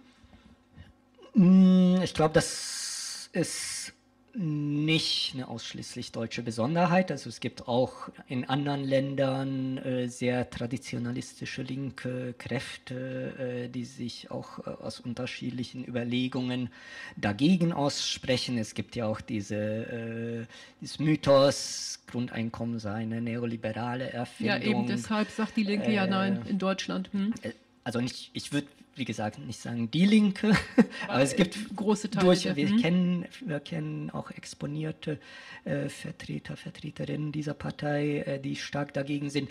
Ich will nicht, also ich würde jetzt sagen, die Linke äh, hat als Partei in Deutschland hat vermutlich gerade auch andere Sorgen als nur ihre äh, Einstellung zum Grundeinkommen. Da gehe ich von aus, ja. Aber ich bin jetzt mal an der Stelle optimistisch und sage, die, die Linke hat jetzt auch die Möglichkeit, sich auch ein bisschen neu zu erfinden und mit, mit bestimmten progressiven politischen Konzepten, und das betrifft ja nicht nur Sozialpolitik, das betrifft ja auch Ökologie und so weiter, äh, ja, sich ein neues Profil aufbauen und vielleicht, äh, vielleicht kommen sie dann zu dem, äh, zu dem Schluss, dass das Grundeinkommen ein Thema ist. Wir wissen aus Umfragen, dass eigentlich die Mehrheit der, der Deutschen dafür ist. Und auch, äh, na, ne, wie du gesagt hast, ich bin bei den Grünen. Wir haben äh, das Grundeinkommen als langfristige Perspektive in unserem Grundsatzprogramm. Das heißt aber auch nicht, dass äh, wir jetzt in jedem Wahlprogramm äh, reinschreiben, so jetzt wollen wir aber Schritte Richtung Grundeinkommen gehen. Äh, dass das so ist oder sein wird, dafür setzen wir uns eben im Netzwerk Grundeinkommen ein. Aber ich denke schon, dass es da durchaus Potenzial gibt, wenn, wenn eine Partei den Bundestag will, äh, sich dieses Thema mal etwas offensiver annehmen Aber würde. das ist, also sagst du, das ist ähm, nicht so, dass in den anderen Ländern man sagen kann, dass also bevorzugt die Linke pro Grundeinkommen ist, das da. Ich glaube, das ist gemischt. Also okay, also es gibt okay. durchaus linke äh, Parteien, die da sehr, sehr positiv äh, eingestellt sind und andere, wo, wo, ja ähnliche Skepsis. Okay. Man kann ja, man kann ja vielleicht davon ausgehen, weil diese neue Wagenknecht-Partei, wir hatten hier ähm, im, äh, vor drei Monaten hatten wir hier Alexander King, der da äh, auch mit, mitmacht sozusagen. Und der hat also klipp und klar gesagt, Grundeinkommen kommt bei Ihnen nicht in die Tüte. Und das wissen wir ja auch von Sarah Wagenknecht, dass sie keine Grundeinkommensverfechterin ist und dass sie sich da eigentlich auch in früheren Zeiten immer klipp und klar gegengestellt hat. Und äh, da kann man ja sagen, vielleicht wäre die einzige Chance der alten Partei, die Linke, wenn sie sich irgendwie wieder, ähm, oder wenn sie sich nicht wieder, sondern wenn sie sich vielleicht auf ihre doch recht starke Arbeitsgemeinschaft besinnen und das in ihr Programm stellen, vielleicht können sie dann doch noch irgendwie ein paar Stimmen abgreifen. Aber das werden wir alles sehen. Das ist jetzt natürlich alles Rumorakle, aber äh, gut. Ich komme mal, ähm, äh, wenn wir es mit der Musik, haben wir eine Musik oder noch nicht? Okay, ähm, und wir kommen nach der Musik, kommen wir mal zu einem sehr, ähm, äh, zu einem sehr aktuellen Thema in Bezug auf Grundeinkommen, aber erstmal gucken ob wir eine Musik kriegen.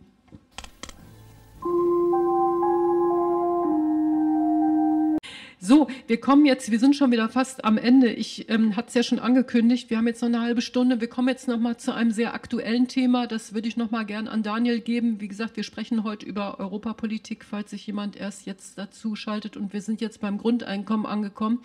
Ähm, es wird im Moment geunkt oder orakelt oder wie man das immer nennen möchte, dass wenn wir ein Grundeinkommen bekommen, oder das wäre sogar schon in der Pipeline, und zwar wäre das ein Grundeinkommen äh, über zentrale, über, über digitales Zentralbankgeld. Und das wäre also, damit wäre also jeder Bürger, der das bekommt, und es sollen dann alle bekommen, wäre absolut gläsern und kontrollierbar, weil bei Verhalten, was dann der Regierung nicht passen würde, könnte man sofort dieses Geld, was man ja als digitales Geld aufs Handy bekommt, könnte man das also innerhalb einer Minute abstellen. Und deshalb äh, äh habe ich schon bei Grundeinkommensbefürwortern und drinnen äh, jetzt schon in letzter Zeit öfter gehört, dass sie im Moment eben doch skeptisch sind, was das Grundeinkommen ein, angeht, weil sie eben dieses digitale Zentralbankgeld nicht haben wollen. Was sagst du zu dem Thema?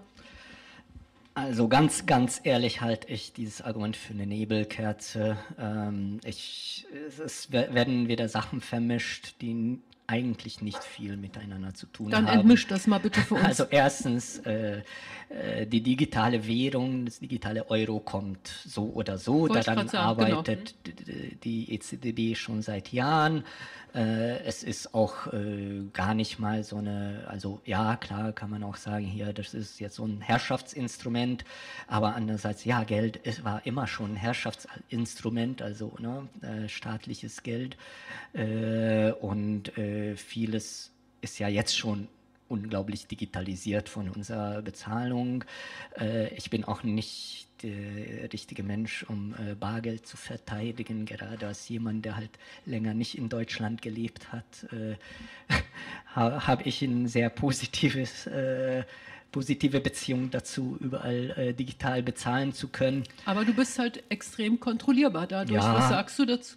Also ich wurde, ich, ich persönlich habe da jetzt zum Beispiel noch nichts Negatives äh, erfahren dürfen. Ich finde auch, äh, es gibt ganz starke Argumente für mehr digitales Bezahlen, was zum Beispiel auch äh, äh die Unterbindung von Steuervermeidung angeht. Also ich glaube in, in Deutschland äh, und da finde ich auch zum Beispiel, wenn, wenn ich aus einer linken Perspektive immer wieder fordere, ne, die, die Reichen sollen zur Kasse gebeten werden, die sollen ihre Steuern bezahlen. Also eines der größten Probleme waren wir in Deutschland und, und auch in Europa Europa nicht genug Geld zum Beispiel für äh, Sozialleistungen für einen Sozialstaat haben, ist äh, Steuervermeidung, Steuerflucht und äh, Bargeld macht das äh, halt auch einfacher. Ähm, also es ist, es ist aus meiner Sicht eine komplexe Debatte. Wie gesagt, äh, auf Europä also das digitale Euro kommt so oder so mit oder ohne Grundeinkommen. Das ist genauso wie, äh, erinnert mich an die Argumentation auch, äh, hast du äh, ne, linke Vorbehalte gegen Grundeinkommen angesprochen, dass eben dadurch Niedrigs, Niedriglöhne äh, ermö ermöglicht werden. Hallo, Niedriglöhne haben wir in diesem Land seit Hartz IV und ohne Grundeinkommen. Also es ist äh, da sind wir uns, da sind und, wir uns einig. Und das, das könnte man, also das könnten, also ne, mit dem gleichen Argument könnte man äh, ja gegen sämtliche Sozialleistungen sein. Äh, das sagen, wollte ich sagen, denn ich meine, man kann ja sagen, Leute, die zum Beispiel Hartz IV oder jetzt Bürgergeld kriegen, die sind ja sowieso kontrolliert, ob die das genau. jetzt als digitales Zentralbank oder ausgezahlt. Nur, was ähm, mich auch skeptisch macht, du kannst also, gut, du kannst also Leuten heutzutage schon, Leuten, die Bürgergeld kriegen, kannst du bei ähm, Nicht-Wohlverhalten, kannst du das Geld abstellen. Da brauchst du auch gar kein digitales genau, Zentralbankgeld genau, für. Gemacht. Die kriegen einfach, genau, das wird gemacht, die kriegen einfach kein Geld mehr, wenn sie sich nicht so verhalten wie, ähm, wie gewünscht. Das geht aber heutzutage eben nicht äh, über politisches, ich sage jetzt mal Fehlverhalten, sondern eben nur in Anführungsstrichen, wenn du eine Arbeit nicht annimmst oder dich nicht auf dem Amt meldest. Das, wir sind uns einig, dass das natürlich auch kein guter Grund ist, jemandem das Geld äh, vorzuenthalten. Da sind wir uns einig. Nur diese Leute, und das äh, finde ich auch kein äh, Argument, was so von der Hand zu weisen ist, die Leute, die sagen, dass das digitale Zentralbank gefährlich ist, sagen ja auch, ähm, man könnte es ja im Grunde auch bei, ähm, man könnte es ja eben auch abstellen, wenn die Leute sich politisch nicht, nicht wohl verhalten oder wenn sie sich, ähm, wie, wie in China, da hat man äh, dieses, diese Social Credit Points oder wenn sie sich irgendwie in dem Bereich nicht wohl verhalten und darum geht es ja. Also wie gesagt, mhm. weil, weil das zu Leuten Leuten das Geld streichen kannst, wenn sie keine Arbeit annehmen, das haben wir jetzt schon. Es geht wirklich um, und das kannst du im Moment noch nicht. Also ich du kannst im Moment äh, jemand, der Bürgergeld bezieht und sagt, ich will die AfD, dem kannst du das Geld nicht abdrehen. Das ist kein Grund. Aber wenn wir dieses digitale Zentralbankgeld haben, dann ist es möglicherweise so, dass dann eben auch geregelt wird, dass man den Leuten bei einer bestimmten politischen Wahl das Geld abdrehen kann. Ich sage, ich überspitze das jetzt einfach mal so. Und das ist eben etwas, was viele befürchten. Und da sage ich, das ist natürlich eine Gefahr, die ich auch sehe, ganz klar. Ähm, naja, du sprichst etwas an, was durchaus äh, passiert, vielleicht nicht in Deutschland, aber äh, ich kenne das. In China passiert es ja schon, also mit, mit den. Also das Interessante in China ist, dieses Social Credit ist etwas, was die Kommunistische Partei dort gerne haben möchte, aber äh, nach Jahren der Versuche immer noch nicht schafft umzusetzen. Äh, die kämpfen da auch mit zum Beispiel, dass sie die Daten dafür gar nicht von den verschiedenen Behörden bekommen. Und äh, ne, wenn das selbst in so einem zentralistischen Land wie China äh, ein Problem darstellt, Ach, in, in China gibt es Datenschutz? Die, die, die, diese äh, äh, Kontrolle auszuüben, dann denke ich nicht, dass das so in der zentralen politischen Organisation wie die EU möglich wäre. Ich glaube, wir haben auch in Europa viel größere äh, Absicherungen, was äh, eben Rechtsstaatlichkeit angeht. Aber wir wissen auch, das ist nicht in jedem Land so der Fall. Und ich weiß zum Beispiel aus Ungarn, äh, da ist die Sozialhilfe wird von den Kommunen ausgezahlt. Äh, sprich, da ist es sehr einfach äh, zu sagen, äh, na, ich als Dorfbürgermeister war, weiß hier der der, der Klaus hat eben ne, äh, postet immer oppositionelle Geschichten auf Facebook. Dem sage ich so, nee, du äh, irgendwie, du, du hältst deinen Hof nicht sauber, deswegen kürze ich dir die Sozialhilfe. Und das läuft so, ne? Also das ist. das läuft schon so. Ja, ja, und, und ohne, ohne, ohne Grundeinkommen, ne? Also das ist durchaus heute schon möglich und wird gemacht, dass äh, Menschen eben äh, ja, äh, und ich denke bei einer Sozialleistung wie eben Bürgergeld oder äh, ähnlichen Leistungen, äh, wo es eben ähm, äh, Bedarfsprüfung stattfindet, ist es viel einfacher, äh, irgendwelche Gründe zu finden, warum jemand das nicht bekommen soll, als bei einem Grundeinkommen, das, das eben jeden zusteht. Ja gut, aber man könnte ja, ich äh, also für mich wäre wär das Grundeinkommen gerade eine, eine, Sicherheit gegen diesen Willkür und nicht etwas, was, was das erleichtern würde. Naja, du, du, also ich würde jetzt mal, ich will jetzt nicht den Teufel an die Wand malen, aber ich ähm, übertreibe jetzt mal oder äh, mal jetzt mal den Teufel an die Wand. Es gibt ja Staatsformen, da musst du irgendwie nicht begründen. Da kannst du das Geld einfach abstellen und du sagst ja selber aus Ungarn, wenn jemand seinen Garten nicht fegt, dann kriegt er kein Geld. Also das sind ja so Fälle, ähm, und die wollen wir ja nicht haben und das könnte man ja, das, das könnte ja auch Europa oder weltweit so kommen. Also ich denke mir, wir dürften uns ja nicht, wir, wir dürfen uns ja nicht darauf verlassen, dass die Demokratie ein gegebenes Gut ist. Die müssen wir ja verteidigen, da sind wir uns ja einig. Ja. und äh, da müssen wir dran arbeiten. Und äh, wir können aber auch wieder in Zeiten fallen, wo eben die Demokratie, äh, da, da, wo drauf gepfiffen wird, wo man, wo man überhaupt keine Begründung mehr braucht, jemandem das Geld abzustellen, der hat sich politisch nicht einwandfrei verhalten, also kriegt er kein Geld mehr. Und ich kann das eben äh, mit diesem digitalen äh, Grund, ich, ich kann dem das Geld mit einem, mit einem Klick abstellen stellen. Natürlich ist das in der Dorfgemeinschaft auch möglich, dass du ihm an der Kasse nichts mehr auszahlst, ist mir ja. völlig klar. Aber ähm, also ich bin da wirklich, also ich, ich sehe diese Kritiker, die das im Moment so unken, sehe ich nicht so, äh, für mich ist es nicht so aus der Welt, muss ich dir sagen. Also ich denke mir, du, du bist digital immer noch kontrollierbarer, äh, besonders wenn dann zum Beispiel auch geguckt wird, wofür gibt er denn sein Geld aus? Weil wir jetzt gerade hier von Fleischsteuer gesprochen haben oder so, wenn jemand dann sagt, ich äh, will jeden Tag ein Steak essen und gebe jeden Tag mein Geld dafür aus, dass dann einfach gesagt wird, nein, dafür äh, wird kein Geld ausgegeben. Aber du kannst jetzt ab, ab sofort, gibt es kein Fleisch mehr, ab heute für den Rest des Monats gibst du dein Geld nur noch für, ich weiß nicht, Kartoffeln oder was aus. Also solche Sachen. Aber ist das ich. nicht das quasi, was unsere Jobcenter auch heute schon machen? Die also können aber nicht kontrollieren. Die können aber nicht na, die kontrollieren. Können sehr viel kontrollieren. Also, wenn ne? du, wenn du, das Problem ist, wenn du das Geld bar hast, dann kannst, hast du immer noch eine ja. gewisse Autonomie. Du kannst ja, das Jobcenter weiß ja nicht, was du von deinem Geld kaufst. Wenn du das ja. aber als digitales Geld hast, du bist sozusagen kontrollierbar, wofür du dein Geld ausgibst ist und es könnte sein, dass das ja auch äh, so gewollt ist. Ja. Wenn, also ja. für mich ist die, äh, ist die äh, Absicherung dagegen nicht zu sagen, nee, wir wollen kein digitales. Wie gesagt, wir bezahlen auch heute schon massiv viel digital. Also es ist schon ich theoretisch, ich mittlerweile technisch, nicht mehr. Ich mittlerweile technisch sehr viel möglich. Ähm, es ist, äh, also ich glaube, was wir brauchen, ist zu sicherzustellen, eben zum Beispiel durch Verordnungen, durch Regelungen auf europäischer Ebene, dass die Privatsphäre der Bürgerinnen und Bürger geschützt ist, auch gegen den Staat, auch gegen äh, ähm, eben, eben staatliche Stellen. Äh, das sehen wir zum Beispiel aktuell an der, an der KI-Richtlinie, dass das durchaus mhm. möglich ist, dass da die EU durchaus eine wichtige Rolle äh, spielen kann. Wir müssen sicherstellen, dass eben äh, wir äh, den Rechtsstaat in Europa verteidigen, wo eben du und ich äh, halt auch äh, dann juristisch vorgehen können, wenn wir eben den Eindruck haben, äh, na, der Staat greift halt eben in unsere persönliche Freiheit ein.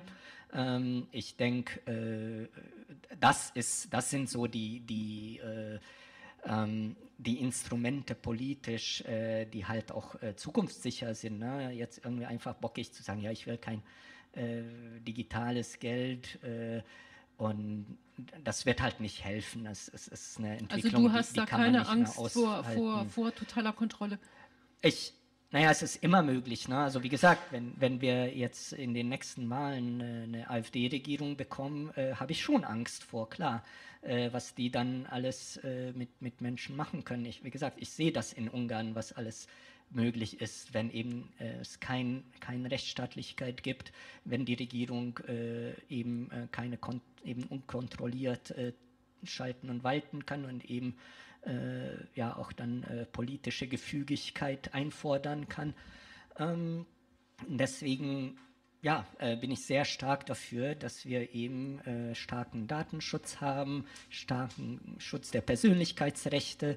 Und wie gesagt, aus meiner Sicht ist ein Grundeinkommen gerade eine äh, ne, bessere Möglichkeit sicherzustellen, dass der Staat dir das nicht entziehen kann, als eben staatliche Leistungen, die an unterschiedliche Bedingungen geknüpft sind. Weil da gibt es, das kennen wir auch aus der derzeitigen Praxis bei den Jobcentern, na, ungefähr, äh, lass mich nicht lügen, 80, 90 Prozent der der Entscheidungen, die vor Gericht angefochten werden, werden danach auch von den Gerichten annulliert. Und, und, äh, und selbst in Deutschland, wo ich jetzt eben heute noch niemanden das unterstellen, also keiner Behörde das unterstellen würde, dass die absichtlich irgendwie Einzelpersonen äh, äh, ähm, maßregeln wollen. Es ist mehr ein systematisches Problem. Aber, äh, aber ich denke, da ist Grundeinkommen doch eher äh, ja, ein, ein, eine, eine zusätzliche Sicherheit, äh, dass das eben nicht passiert.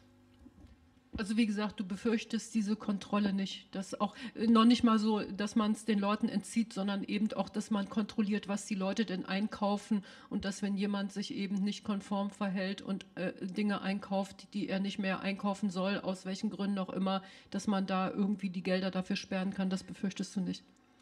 Also ich, ich habe ja nicht gesagt, dass es äh, theoretisch nicht möglich sei. Ich habe nur gesagt, äh, die, der Weg sicherzustellen, dass das nicht passiert, ist aus meiner Sicht nicht zu sagen, so, nee, wir gehen jetzt komplett zum Bargeld zurück. Ich glaube, das würde äh, unser, unser Wirtschaftssystem heute nicht mehr verkraften.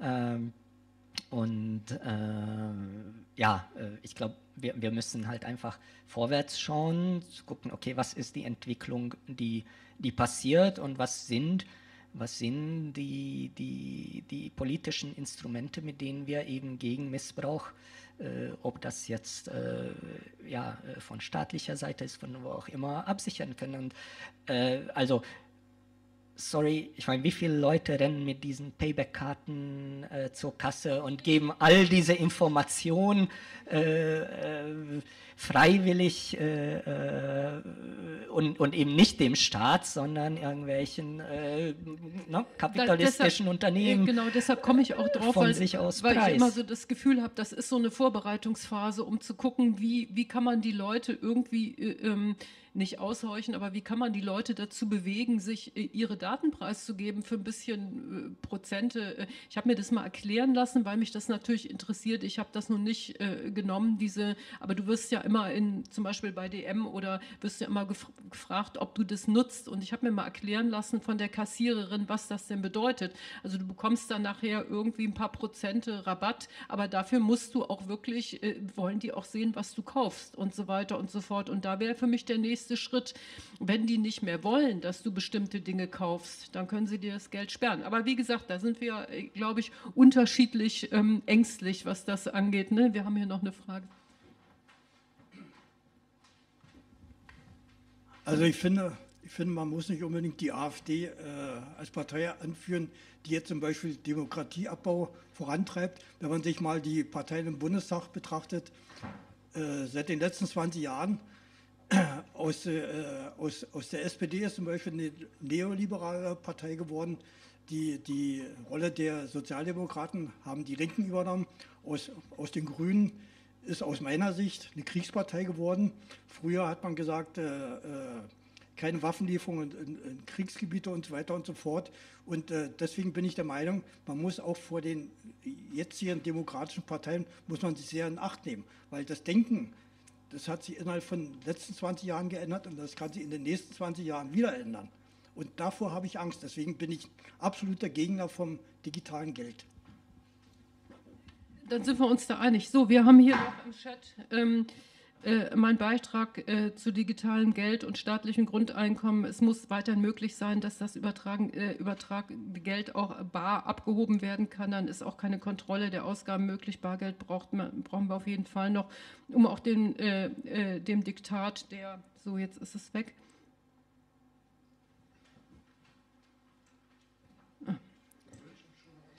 Ja. Also es gibt ein sehr schönes Beispiel aktuell aus einem EU-Mitgliedsland, das sowas schnell, wie ein Grundeinkommen eingeführt hat. Ähm, äh, äh, Aufgaben möglich Bargeld brauchen wir auf jeden Fall noch, um auf dem, äh, um auf dem Diktat der Banken äh, bei der Festsetzung der Kosten für Dienstleistungen zum Beispiel auch negative Zinsen zu entgehen. Im Zweifel hebe ich dann das Geld vom Konto ab. Ja, da bin ich seiner Meinung, nur eben, es geht ja darum, dass wenn das nicht mehr geht, das, das ist es ja. Also ich glaube, wir sind uns hier ich akzeptiere natürlich auch deine Meinung, wir sind uns hier einig, dass wir natürlich digitales Geld schön und gut, aber dass wir natürlich ähm, nicht nicht ähm, das Bargeld völlig abschaffen dürfen. Und darum geht es ja beim digitalen Geld, wenn ich das immer richtig verstehe. Also A gibt es äh, auch jetzt EU-Länder wie Schweden, Estland, wo es kaum noch äh, mit Bargeld bezahlt wird. Äh, diese Länder sind mir jetzt nicht als totalitäre Diktaturen bekannt. Äh, es gibt ein gutes Beispiel, das ich eben äh, vorhin äh, angefangen habe zu berichten. Es gibt sowas wie ein quasi Grundeinkommen, das jetzt in Österreich als unter dem Label Klimageld eingeführt wurde. Es gibt ja, das ist auch, äh, wenn wir jetzt zu unserem ursprünglichen Thema europäisches Grundeinkommen zurückkehren, vielleicht das Instrument, was ich am realistischsten äh, umsetzbar sehe in, de, in, den nächsten Jahren auf europäischer Ebene, dass wir eben eine CO2-Abgabe haben, die in Form einer Dividende an allen, äh, allen äh, Menschen in Europa zurückgezahlt wird. Und das macht Österreich. Und Österreich äh, macht das tatsächlich so. Also allen, die ein Konto angegeben haben, äh, das sind die meisten Menschen, die kriegen das aufs Konto überwiesen, aber es gibt durchaus äh, Fälle, wo dann der Postbote mit dem Scheck oder wie auch immer äh, äh da ja, die, dieses Geld dann an die Leute bringt. Also es ist durchaus auch möglich, äh, weiterhin. Äh, also das, das ist ja wieder ein anderes Thema. Das, das so würde ich natürlich auch, ähm, ich würde natürlich auch sagen, die Leute sollen sich selber entscheiden, wollen sie digitales Geld haben oder wollen sie bar zahlen. Wenn das weiter möglich ist, dann kann man sagen, das muss jeder selber wissen, inwieweit er, das ist ja auch bei diesen komischen, wie, wie nennt sich das, diese, diese, äh, da in der Drogerie und so, diese Payback-Dinger da, da, das ist ja auch keine Pflicht, da kann sich ja jeder selber überlegen. Aber ähm, es ist ja so, dass die Gefahr ist, wenn Bargeld abgeschafft wird, dass wir eben nur noch das digitale Geld haben. Darum geht es ja. Aber hier ist noch eine Frage. Ja, es wäre bei den, bei, den, bei den Ausblicken ganz interessant, äh, äh, wie denn die Prognose ist, wann, bis wann das denn realisiert sein soll. Das äh, habe ich nicht äh, bisher gelesen, so konkret, ob es da einen Masterplan gibt bis wann das EU-weit so sein soll, dass kein. Ne, das, das wird ja nichts. Das, für in den nächsten fünf Jahren, das halte ich für ausgeschlossen. Das ist, glaube ich, auch vom Tisch. Ich weiß nicht, wo, wo das so noch steht. Äh, ja, gut, die Bundesbank. Nee, aber äh, erstmal, das war die erste ganz kurze Frage vielleicht. Hm. Also mir ist auch keine Jahreszahl bekannt und aus meiner Erfahrung äh, muss man auch genau alle möglichen solchen Ankündigungen äh, mit höchster Vorsicht genießen. Also gerade wenn etwas, äh, auch sowas Delikates mhm. auf europäischer Ebene umgesetzt werden muss, äh, das dauert meistens immer deutlich länger als ursprünglich gedacht. Ja, ich denke natürlich auch, äh, dass das nicht äh, zu verhindern ist. Möglicherweise wird es ein bisschen aufgehalten. Ich bin persönlich, aber das muss nun jeder für sich entscheiden, nicht dafür, weil ich glaube, dass ähm, die wenn man, man sagt zum Beispiel, man möchte auch Clankriminalität, Wirtschaftskriminalität damit einschränken. Das wird nicht passieren, weil die sind ja in der Technologie häufig dann auch schon immer Schritte weiter. Die wissen jetzt schon, was sie machen werden, wenn es kein Bargeld mehr gibt, wie sie dann ihr Geld waschen. Es wird teilweise auch schon geschehen. Da erreicht man gar nichts, wenn man das, diese Gründe, die zählen für mich nicht. Benachteiligt wird vielleicht der kleine Flaschensammler, der jetzt seine paar Flaschen noch angeben muss, weil er sie ja gar nicht mehr bar umsetzen kann, sondern weil in sein Guthaben dann die, was weiß ich, 3,75 einfließen, wo er sagt, ja, man, er hat dann natürlich was Schlimmes getan, eine schlimme Widrigkeit, wo auch immer das eingeordnet wird, weil er hat sich vielleicht dann äh, über den Rahmen von 100 Euro, den er vielleicht zusammensammeln darf, etwas mehr sich noch äh, dann erwirtschaftet. Und dann trifft es wieder wirklich die, die, die Ärmsten, für die sowieso wenn man überhaupt über diese ganzen Dinge redet, es wird irgendwann darum gehen, welche Größenordnung nimmt das an, alle Gelder, die jetzt an Sozialleistungen in Deutschland beispielsweise, für andere Länder kann ich nicht sprechen, ähm, äh, ausgezahlt werden ne, oder beantragt werden können, die im Rahmen von Bürgergeld und was, wie es auch immer hieß und noch heißt, die, also diese Versorgung, diese Grundversorgung, äh, sind so zusammengekürzt, die müssten nicht bei 500 irgendwas liegen, sondern deutlich über 800 Euro und zwar schon seit über zehn Jahren. Da redet kaum einer, dass es schon mal damals ermittelt wurde und dann gesagt, ach nee, ach, äh, äh Kultur, nein, da braucht man nicht 50 Euro im Monat, nee, nee, da reichen, äh, da reichen 18 auch. Das wäre Kino und noch ein paar Chips dazu. Äh, mehr, wer mehr will, muss sich das vom Mund absparen. Und äh, das, es ist beides, es spielt jetzt ins beides, Bar, äh, in beides hinein, das Bargeld und natürlich das Grundeinkommen, das sind alles noch Dinge, die sind weit nicht ausgegoren. Äh, äh, ich finde, das Bargeld sollte bleiben. Was ist mit denen, die sich ein paar Pfennige dazu verdienen?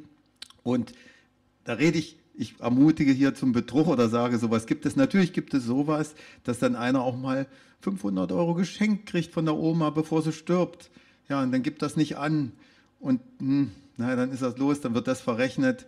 Hm, das hat die Oma für denjenigen das ganze Leben gespart, na, dass der mal was hat und dem wird es vielleicht dann von seinem Grundeinkommen wieder abgezogen. Naja, dann ist leider die Benachteiligung wieder der schwachen, einkommensschwachen oder sozial schwachen Schichten. Und das ist eine Ungerechtigkeit und deswegen bin ich strikt dagegen. Dankeschön, so lange wollte ich gar nicht reden. Also ähm, da sind wir uns einig. Ich bin auch gegen das digitale Geld und zwar gegen ausschließlich digitales Geld. Also wenn wir das äh, Bargeld dazu behalten, dann äh, soll mir das egal sein, weil dann soll jeder entscheiden, was er, was er äh, vorzieht. Und ähm, ja, aber du noch mal gern dazu. Also wir wollten, wir haben ja heute hier einen Gast und wir Ich äh, glaube nicht, dass wir bis Ende der Sendung da äh, jetzt alle Streitpunkte äh, klären nee, nicht und zum Konsens finden. Ist ja, ist ja, immer gut, wenn man ähm, verschiedener Meinung ist. Äh, genau, es ist ein, ich finde es eine spannendes, äh, spannende Debatte. Äh, also man sollte sich nur, ne, nochmal, um zum Beispiel aufs, aufs digitale Euro zurückzukommen, überlegen, was die Alternativen sind. Ein Hauptmotivation äh, eben zum Beispiel der EZB und, und der europäischen Regierung ist auch äh, eben dieses, äh, äh diese Bezahlmöglichkeit nicht, nicht privaten Anbietern, ne? zum Beispiel äh, mhm.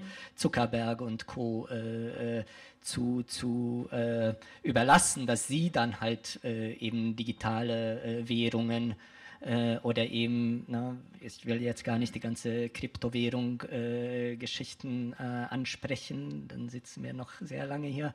Ähm, also die Überlegung ist eben auch ein, ja, ein staatliches äh, äh, digitales Bezahlinstrument anzubieten, was eben nicht unter privaten Kontrolle steht. Und das ist für mich zum Beispiel wiederum ein sehr sympathischer Gedanke. Ähm, nochmal zum Grundeinkommen zurückzukommen, aus meiner Sicht, ja, äh, ist Digitalisierung, ob es jetzt Geld ist oder auf einen anderen, äh, wo, woanders stattfindet, eben ja kein Argument gegen das Grundeinkommen oder eben zu sagen, hier, äh, ja, Grundeinkommen soll ausgezahlt und selbst wenn das eben aufs Konto überwiesen wird, äh, also du wärst damit einverstanden, selbst wenn es als digitales Zentralbankgeld ausgezahlt werden würde. Habe ich das richtig verstanden?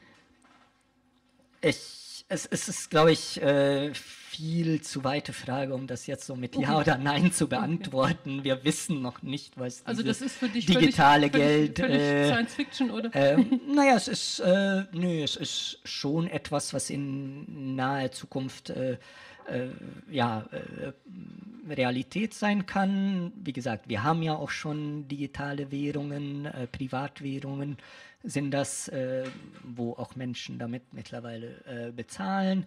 Äh, da gibt es ja auch viele Debatten um, um, Vor- und Nachteile. Ähm, ich persönlich denke, ich sehe keinen Riesenunterschied dazwischen, ob mir jetzt zum Beispiel die Bundesregierung mein äh, ich weiß nicht, Klimageld dann, wenn es vielleicht mal kommt, äh, aufs Konto überweist oder eben die EU es auf ein äh, ja, digitale, äh, in einer digitalen Währung auszahlt, ist für mich jetzt nicht so ein Wahnsinnsunterschied. Okay.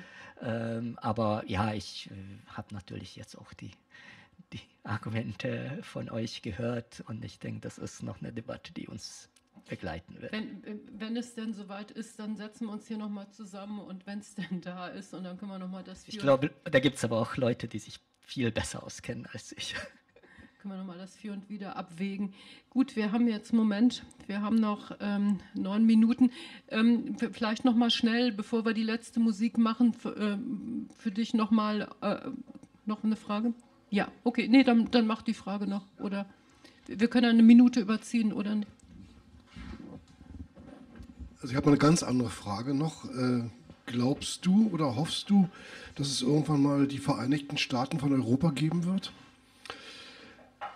Aber meine momentan ist es ja ein bisschen schlecht, glaube ich, mit der Wahl. Aber haben wir Hoffnung oder ist, geht es im Bach runter? Also meine persönliche Hoffnung, dass wir, äh, dass es die, die Republik Europa, der föderale Republik Europa geben wird, die die Vereinigten Staaten von Europa ist eigentlich das, was wir heute schon haben. Äh, vielleicht nicht in dem Sinne, wie es äh, bei den Vereinigten Staaten äh, sagen, ja von Amerika, Amerika läuft. Ja. Äh, äh, so weit sind wir mit der Integration noch nicht, aber ja, na, sind, sind souveräne Staaten, die eben diese EU bilden mein Traumbild ist eigentlich, und zum Glück kann man auch, glaube ich, sagen, die, die, die Geschichte geht auch ein bisschen in die Richtung, dass wir zu einem politischen Gebilde kommen, was tatsächlich von den Menschen, von den Bürgerinnen und Bürgern getragen wird, in erster Linie und eben nicht von Regierungen. Ähm, bis dahin ist es, glaube ich, noch ein langer Weg. Zum Beispiel hätte ich auch gerne, wenn wir jetzt auf Europawahl zurückkommen, sehr gerne gehabt, schon dieses Mal über transnationale Listen äh, auch abstimmen zu können, also sozusagen zumindest ein Teil der, äh, der Sitze im Europäischen Parlament äh, werden europaweit auf einheitlichen Listen gewählt. Äh, die auch äh, eben dafür sorgen, dass da eben nicht nur die nationalen Interessen äh, im Vordergrund stehen, sondern auch die Debatte darüber anführen können, was wir eben als Europäerinnen Europäer für eine Zukunft für diese Gemeinschaft haben wollen. Ähm, ja, also ich, ich, ich, das ist so ein bisschen mein Zukunftsbild, worauf ich hoffe. Okay, dann ähm, jetzt nochmal für dich einfach nochmal so als Abschluss, so Aussicht auf ähm, Europapolitik? Einfach nochmal so ein bisschen Zukunftsaussicht. Ähm, also die ganz nahe Zukunft, jetzt auch aus meiner Perspektive von, von als, als Grundeinkommensaktivist und eben als Vorstandsmitglied von Unconditional Basic Income Europe. Wir versuchen natürlich das Thema äh, Grundeinkommen auch ein bisschen in die Debatte bei der Europawahl zu bringen. Wir werden auch äh, zusammen mit äh, Partnerorganisationen versuchen, möglichst viele Menschen dazu motivieren, dieses Thema auch den, den Kandidatinnen für die Europawahl zu stellen. Also wie hältst du es mit Grundeinkommen und gar nicht mal so, ja, bist du dafür oder dagegen, sondern mehr auch die Debatte. Ne? Äh, also ich, das haben wir vom Grünen Netzwerk Grundeinkommen bei der letzten Bundestagswahl mit den Grünen äh, Kandidierenden gemacht und wir haben die eben nicht gefragt, ja, bist du für oder gegen Grundeinkommen, sondern wir haben die gefragt, ja, was findest du am, an der Idee des Grundeinkommens eigentlich interessant? Und da kamen eben auch Antworten plötzlich von Menschen, die sich dieser Debatte vorher komplett verschlossen haben. Also ich denke, äh, äh, wenn, man, wenn man auch diese, diese Debatte ein bisschen öffnet und nicht so, so entlang ideologischer äh, Gräben ähm, äh, ausfechten will, sondern, sondern ja auch Diskussion äh, zulässt, äh, dann könnte das auch für die Europawahl äh, ja eine, eine, interessante Debatte sein, zumindest da, wo wir die Kandidierenden dazu kriegen. Also das ist eine Sache, die wir jetzt auch als, als UBI, als Unconditional Basic Income Europe ähm, in den kommenden Monaten versuchen werden, in, in möglichst vielen Ländern anzustacheln.